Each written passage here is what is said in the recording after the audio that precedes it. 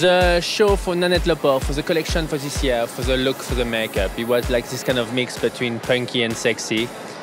What's mean? It means like uh, I put like black pencil inside the eyes, quite very intense, and then mix after with like a damson, is this kind of new shimmery eyeshadow. For the skin, I, I work with this kind of minerals foundation. It's going like a glowy foundation, but very not too much effect like shiny or powdery. It's like almost like effect of skin in a way. And I mix with a blush to make structure on the face.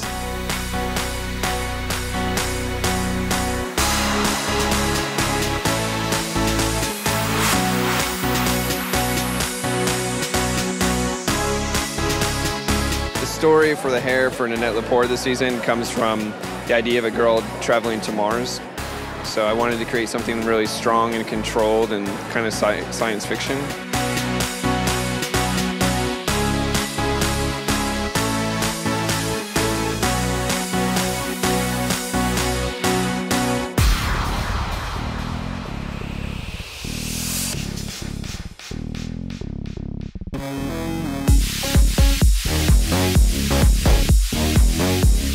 Very excited about the new collection because it's very has a nice future edge to it.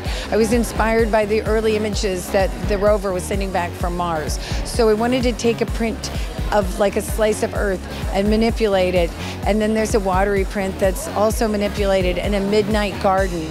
And it's all sort of punched up with hologram leather handbags and shoes that have a very cool galactic edge to them. And the silhouettes, I'm very excited by the coats. And the, the dresses have like a fluidity and a movement, but are very structured. So we're using lots of new fabrications, like surface texture, new surface textures, and new techniques in creating fabric. So they'll be like, it'll be a fun show.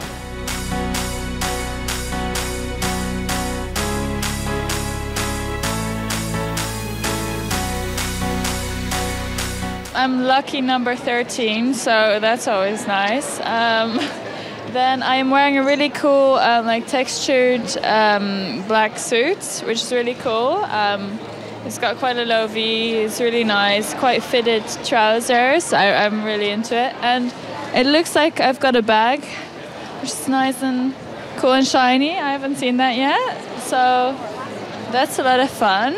And my shoes are pretty cool too. Like really nice colors. They have a nice section with like the dark greens, which is like my favorite color, which I really love. Um, lots of layering and yeah, really fun. It's quite. I feel it's quite um, a happy, upbeat collection.